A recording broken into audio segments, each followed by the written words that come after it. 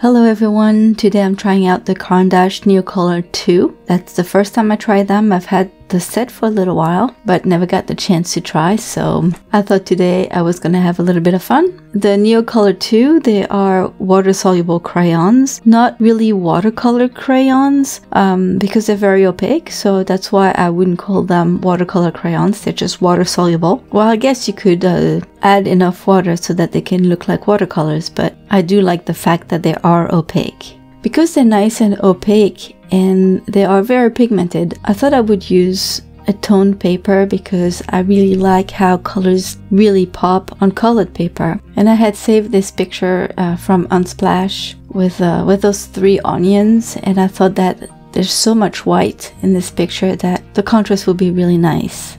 So I sketched the onions on my paper and I must admit that I did not follow the advice from my previous video where I said that when you try a new medium, you probably shouldn't draw or paint something tiny because you need room to try it out. You need room to express yourself. And although this paper is 9 by 12, those onions are so skinny that it was not that easy to actually uh, add the colors and play with the crayons. That said, when I first put the crayon onto the paper, it was really nice. It's very creamy and very smooth as well. So I thought that for this first layer, I would just put all the colors that I could see on the photo on the paper. Just scribble those colors because my intention was to dilute them and blend them together with a wet brush, which I did. And when I picked up my brush, and started adding water, it was so satisfying to see those pigments melt and blend together. It works really well. Now the trick is to figure out just how much water to use. You don't want to use too much water and push the pigments around too much and start seeing the paper. I did that a few times and I figured out that I, I should put a little bit less water on my brush. And then if you don't put enough water on your brush, it's a little harder to blend the pigments. So once that, I'm going to say second layer, it's not really the second layer, but I basically blended everything with water and it looked very nice and bright. Those pigments are gorgeous.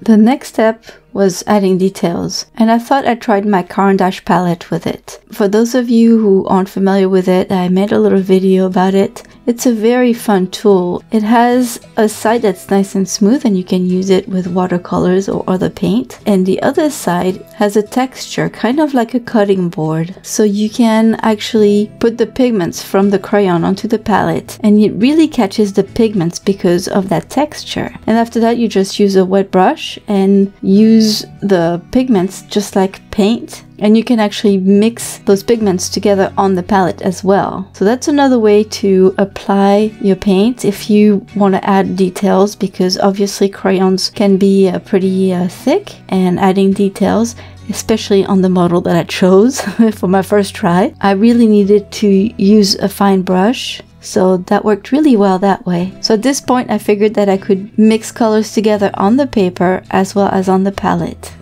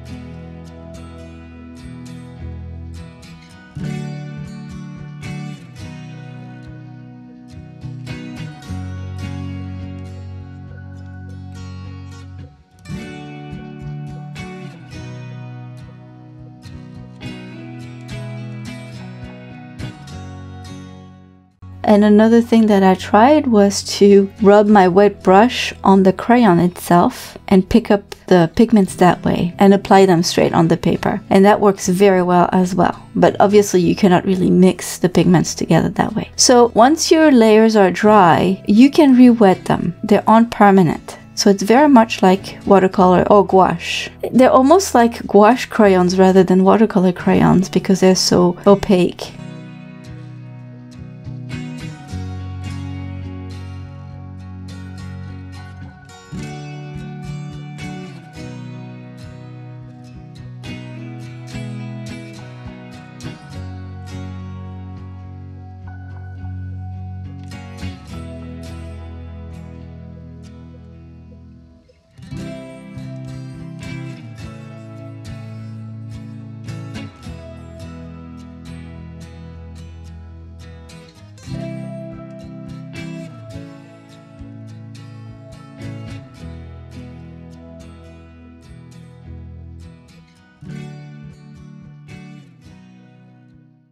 Once I was done adding the details, I probably could have stopped right there.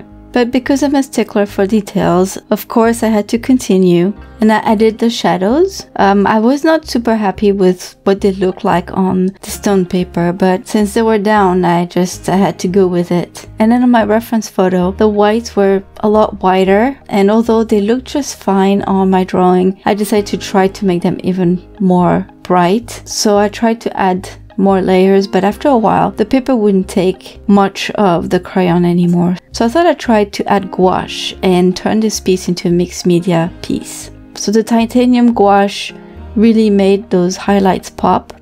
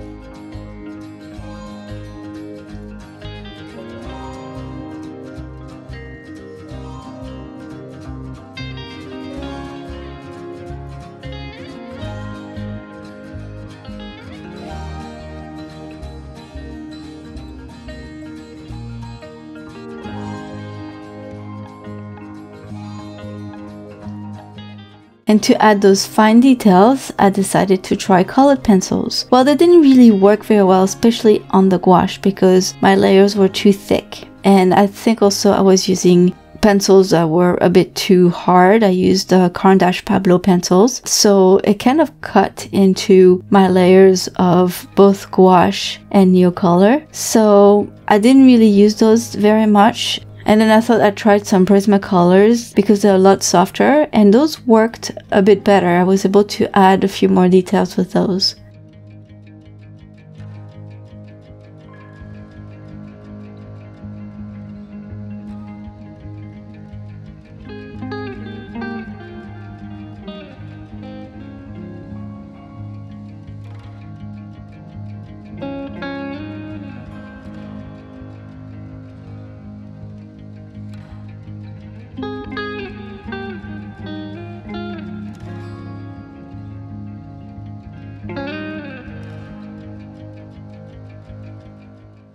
And in the end, I ended up using the Neocolors again to add more colors and blend everything together again.